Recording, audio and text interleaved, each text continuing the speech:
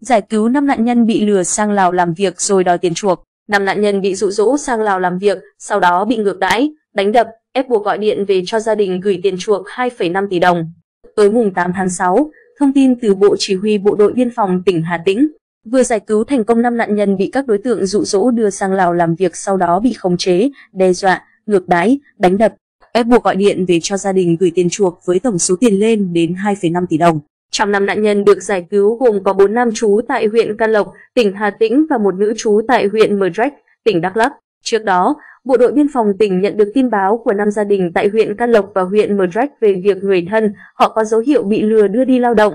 Sau đó, những người này bị khống chế, đe dọa, ngược đái, đánh đập tại một casino tại đặc khu kinh tế Bò Kẹo, Lào. Nhận tin báo, Bộ Chỉ huy Bộ đội Biên phòng tỉnh Hà Tĩnh đã nhanh chóng cử lực lượng xác minh, làm rõ, đồng thời báo cáo Bộ Tư lệnh Bộ đội Biên phòng xin ý kiến chỉ đạo. Đến ngày 10 tháng 5, Bộ Tư lệnh Bộ đội Biên phòng đã có văn bản gửi Tổng cục An ninh, Tổng cục Cảnh sát thuộc Bộ An ninh Lào đề nghị phối hợp giải cứu các nạn nhân, chỉ đạo Bộ đội Biên phòng tỉnh Hà Tĩnh và Bộ đội Biên phòng các tỉnh tuyến biên giới Việt, Lào tăng cường lực lượng, phối hợp với các lực lượng chức năng của Lào tiến hành giải cứu các nạn nhân. Hiện các nạn nhân được giải cứu có sức khỏe, tinh thần đã tương đối ổn định. Lực lượng chức năng đang hoàn tất hồ sơ thủ tục để bàn giao các nạn nhân cho gia đình trong thời gian sớm nhất.